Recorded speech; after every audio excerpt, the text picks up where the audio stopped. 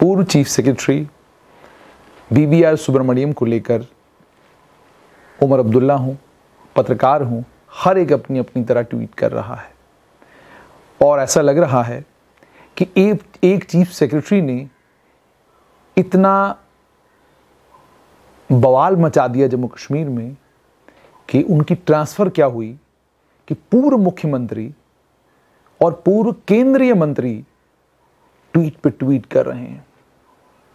एक ट्वीट किया, आज दूसरा ट्वीट कर दिया।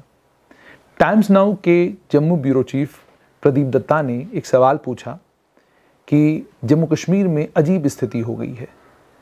एक विधान एक निशान और दो चीफ सेक्रेटरी चीफ सेक्रेटरी जो हैं, वो अभी भी ऑफिशियल चीफ सेक्रेटरी की कार का इस्तेमाल कर रहे हैं। वो अभी भी चीफ सेक्रेटरी के दफ्तर में बैठ रहे हैं। और दूसरी तरफ़ से जो जम्मू कश्मीर के चीफ सेक्रेटरी नियुक्त किए गए हैं, वो अभी भी एफसी फाइनेंस के अपने कमरे से ऑपरेट कर रहे हैं। उस पर उमर अब्दुल्ला ने भी कह दिया कि अजीब गरीब स्थिति है। दो चीफ सेक्रेटरी जम्मू कश्मीर के और एडमिनिस्ट्रेशन भी दो भागों में बट गई है। एक वो लोग, जो एक चीफ सेक्रेटरी के लॉयलिस्ट हैं, और दूसरे वो लोग जो कामकाज करना चाहते हैं, लेकिन परेशान हैं कि जाएँ तो जाएँ कहाँ? इन दो ट्वीट्स के बाद हमारा भी मन किया कि ज़रा मालूम करें, स्थिति क्या है? क्या वाकई जो मीडिया में स्पेकुलेशन है कि द्वंद्व युद्ध चल रहा है, चल रहा था लेफ्टिनेंट गवर्नर मनोज सिन्हा और chief secretary B V R Subrahmanyam के बीच में, उसका अंत हो गया। अब जम्मू कश्मीर में एक ही पावर सेंटर होगा और उस पावर सेंटर का नाम होगा लेफ्टिनेंट गवर्नर मनोज सिन्हा। ये सब बातें मीडिया में चल रही थी। और साथ में हमने ये भी जानने की कोशिश की कि कितनी हकीकत और कितनी सदाकत है इस बात में कि जम्मू कश्मीर के इस समय दो चीफ सेक्रेटरी हैं और जो एडमिनिस्ट्रेशन है वो दो भागों में बटी हुई है। तो मालूम ये पड़ा कि chief secretary B V R Subrahmanyam ने 26 तारीख को, यानी 26 मई 2021 को जब उनका ऑर्डर डीओपीटी से हुआ, जिसमें साफ़ तौर पर यह लिखा गया था कि वो कुछ दिनों के लिए ओएसटी के तौर पर कॉमर्स डिपार्टमेंट में काम करेंगे और उसके बाद कॉमर्स मिनिस्ट्री के सेक्रेटरी के तौर पर वो काम करना शुरू करेंगे। केंद्र में कॉमर्स मिनिस्ट्री के कॉमर्स डिपार्टमेंट के वो सेक्रेटरी होंगे। और उसके बाद एक ऑर्डर गृह मंत्रालय ने इशू किया, जिसमें गृह मंत्रालय ने अरुण कुमार मेहता को जम्मू कश्मीर के चीफ सेक्रेटरी के तौर पर कंफर्म किया, लेकिन साथ में एक लाइन लिख दी कि वो उस दिन से जम्मू कश्मीर के चीफ सेक्रेटरी का कार्यभार संभालेंगे, जिस दिन बीवीआर सुब्रमण्यम चार्ज रिलिंक्विश करेंगे, यानी जिस दिन वो चार्ज दे देंगे। अब गृह मंत्रालय की चिट्ठी भी आ गई और डीओपीटी का ऑर्डर भी आ गया। इस चिट्ठी के आने के बाद और इस ऑर्डर के आने के बाद हमारी जानकारी के मुताबिक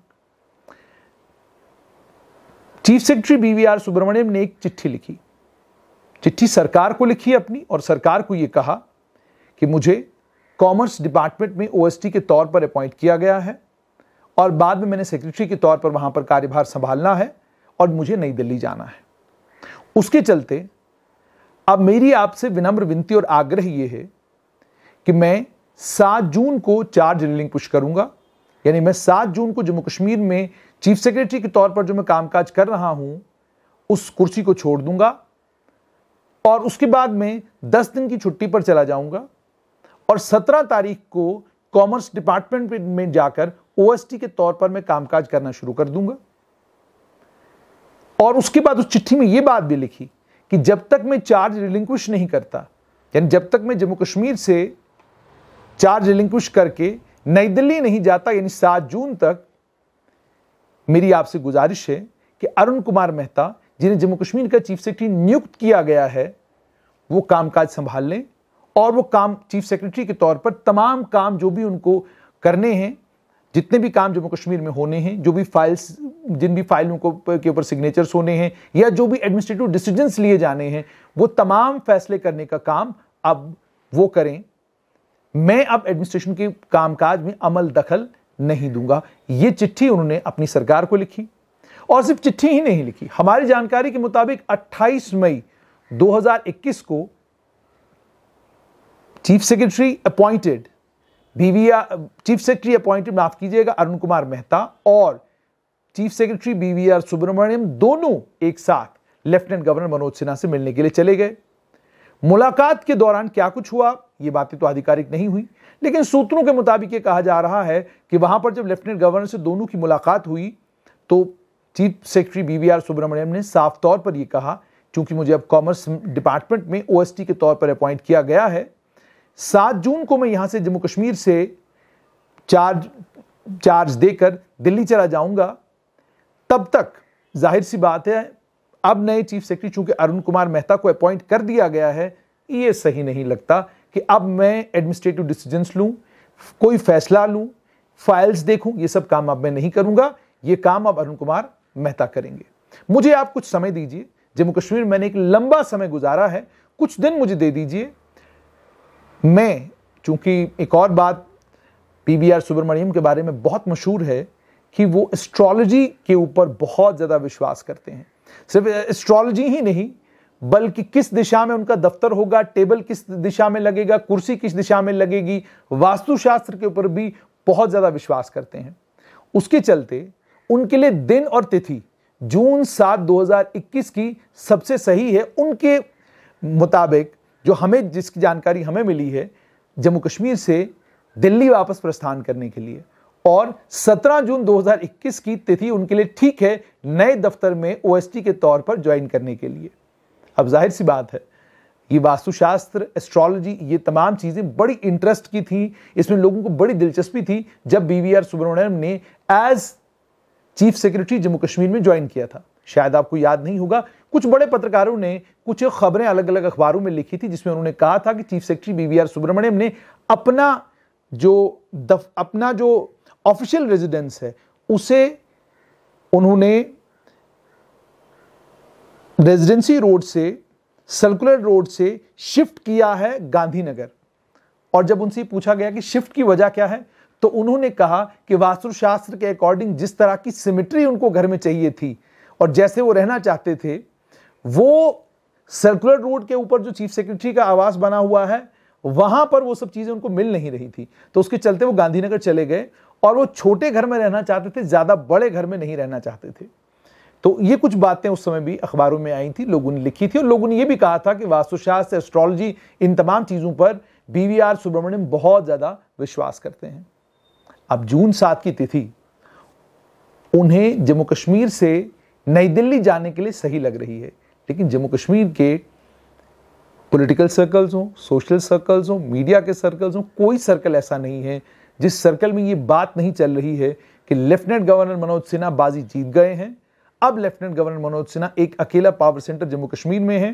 पहले दो पावर सेंटर थे। एक power centre lieutenant governor Manoj Sinha था और दूसरा पावर सेंटर थे chief secretary BVR Subrahmanyam B BVR Subrahmanyam चूँकि सीधा संपर्क उनका प्रधानमंत्री के कार्यालय के साथ था इस वजह से वो बहुत पावरफुल थे, अपनी मनमानी करते थे, किसी की नहीं सुनते थे।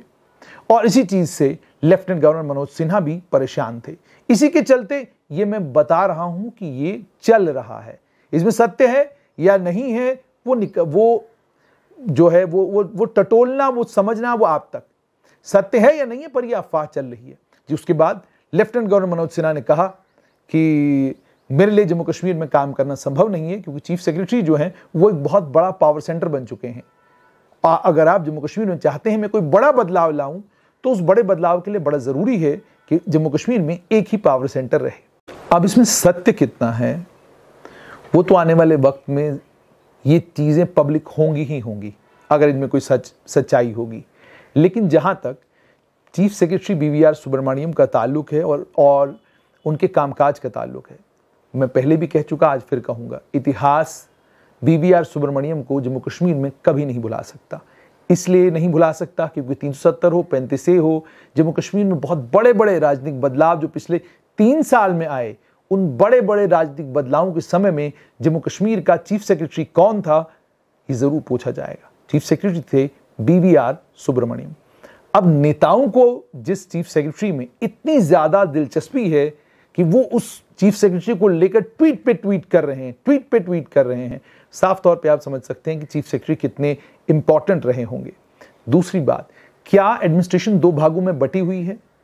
हमें सिविल सचिवालय में जाके ऐसा कोई निशान नहीं मिला जो निशान ये बताता हो कि सिविल सचिवालय में, सिविल सचिवालय दो तरह के ऑफिसर्स में बटा हुआ। एक वो ऑफिसर्स जिनकी लॉयल्टी पीवीआर सुब्रमण्यम के साथ है और एक वो ऑफिसर जिनकी लॉयल्टी अरुण मेहता के साथ है। मैं आपको पहले ही बता चुका 28 मई 2021 दोनों आईएएस ऑफिसर पीवीआर सुब्रमण्यम भी और अरुण कुमार मेहता भी लेफ्टिनेंट गवर्नर से मिलने गए। जब मिलने गए तो बाहर भी वो साथ आए। और उसके बाद से लेकर 31 मई को जो ऑर्डर इशू हुआ, उस ऑर्डर के इशू होने से पहले ही चीफ सेक्रेटरी बीवीआर सुब्रमण्यम एक चिट्ठी लेफ्टिनेंट गवर्नर को थमाकर आए, थे जिसमें उन्होंने ये कहा था कि अरुण कुमार मेहता को 7 जून से पहले ही कामकाज शुरू कर लेना चाहिए। मैं 7 जून तक जम्मू कश्मीर में इसलिए रहूँगा क्योंकि 7 जून की तिथि मेरे लिए ठीक है। लेकिन बात का अफसाना जम्मू कश्मीर में बन गया। अब जैसे मैं कह रहा था कि क्या एडमिनिस्ट्रेशन दो भागों में बटी हुई है? चीफ सेक्रेटरी बीवीआर सुब्रमण्यम का पूरा स्टाफ श्रीनगर में है। अरुण कुमार मेहता श्रीनगर है।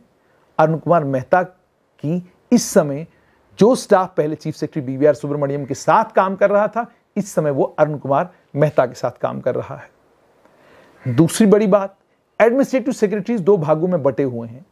एडमिनिस्ट्रेटिव सेक्रेटरीज 31 मई 2021 से नए चीफ सेक्रेटरी अरुण कुमार मेहता को रिपोर्ट करना शुरू हुए हैं। अरुण कुमार मेहता पूरी तरीके से एडमिनिस्ट्रेशन को संभालना शुरू कर गए हैं 31 मई 2021 से।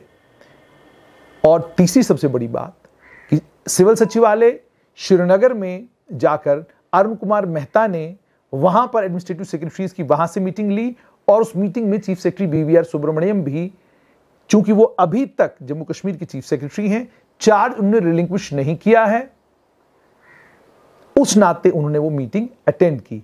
लेकिन बाकी तमाम एडमिनिस्ट्रेटिव सेक्रेटरीज ने मीटिंग को अटेंड इसलिए किया क्योंकि मीटिंग बुलाई थी चीफ सेक्रेटरी अरुण कुमार मेहता ने। यानी बात साफ़ ये हो गई कि पूर्व chief secretary BVR Subrahmanyam astrology और वास्तुशास्त्र में यकीन रखते रखते हैं। उसके चलते सात जून को जम्मू कश्मीर से चार रिलिंक्विश करके जाना चाहते हैं और चार तारीख को मेरी जानकारी के मुताबिक वो श्रीनगर जाएँगे और उसके बाद वहाँ पर वो अपना जो सामान उनका है, जो बाकी तमाम चीज़ें हैं, उनको समेटेंगे। समेट कर सात तारीख को वो दिल्ली की तरफ़ रवाना हो जाएँगे। बात इतनी थी, लेकिन बात का अफसाना बन गया। मगर नेताओं की और अलग अलग लोगों की जो दिलचस्पी बी सुब्रमण्यम में है, वो साफ़ तौर पर ये दर्शाती है कि कुछ तो है जो B V R Subrahmanyam Jammu Kashmir में करके गए हैं। कोई बात तो है जो उनकी चुभी है लोगों को, और चुभी इतनी ज़्यादा है, चुभन इतनी ज़्यादा है कि ट्वीट पे ट्वीट करे जा रहे हैं।